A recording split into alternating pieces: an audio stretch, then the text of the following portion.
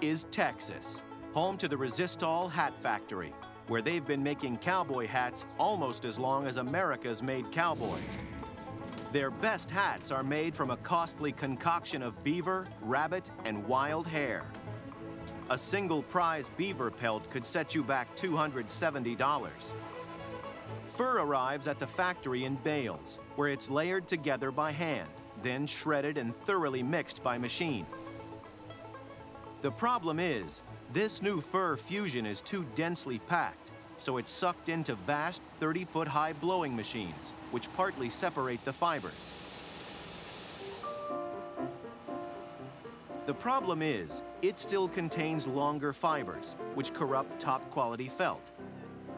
So this priceless antique machine draws out the long hairs and rolls out blankets of unadulterated short fur. This fur needs to be able to withstand heat, cold, and friction. But in order to be tough enough for the Wild West, it has to become felt. Weighted into hat-sized portions, the fur is fed into the forming machine. A 5,000 watt vacuum that sucks the fibers onto a spinning metal cone. These giant three foot long hat cones are then retrieved by the former, whose craft has been handed down from generation to generation. He wraps the cones in wet cloth and plunges them into hot water. The hot water loosens the fibers, then giant rollers press them together to bind them into dense felt. Then the hats are machine rolled to further tighten the binding fur. As the felt constricts, the hat becomes denser, smaller, and stronger.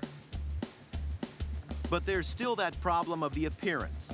These hats are more medieval peasant than Butch Cassidy. The solution is a vigorous machine shaping and steaming process, which creates the basic cowboy hat. The trouble is, basic is all they are. Hardly fit for a rodeo star. To rectify that, the hats travel 125 miles across the state to a finishing factory in Garland.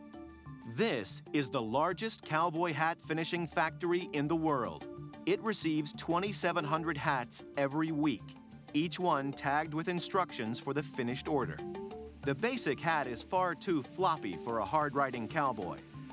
The key to hardening it is a resin called shellac.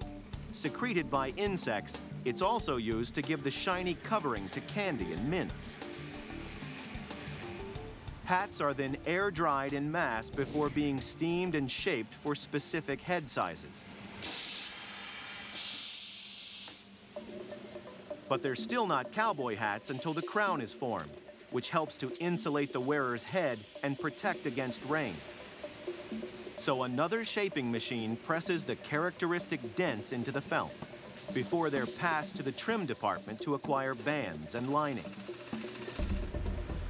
All that's left is for the quality control to okay the finished product before it's boxed up and ready for delivery.